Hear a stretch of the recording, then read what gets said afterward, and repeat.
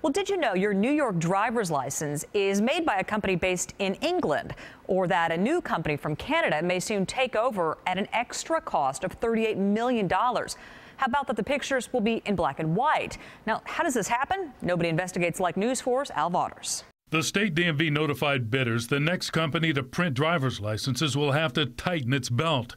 But the DMV then awarded the contract to an Ottawa based company whose bid was about $38 million higher than the lowest bid offered by the company that's been printing the licenses for the last 16 years.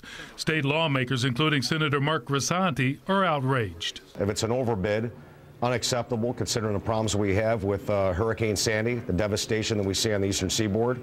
Uh, we need every penny that we can get to help out the victims of Hurricane Sandy. Senator Grisanti questions the DMV's choice for other reasons.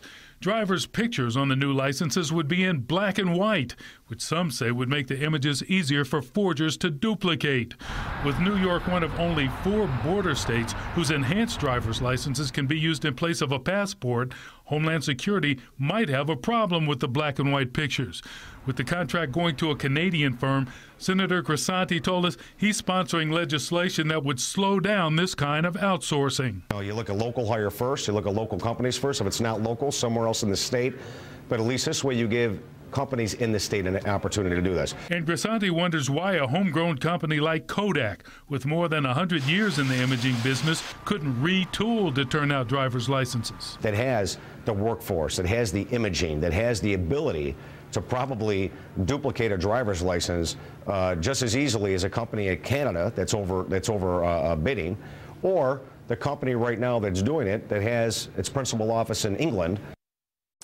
The British space company that put up the lowest bid and a third bidder based in Massachusetts are suing the DMV, accusing the state agency of following arbitrary guidelines in the awarding of the contract. We've also confirmed State Comptroller Thomas DiNapoli's office is reviewing the bids and the $90 million contract.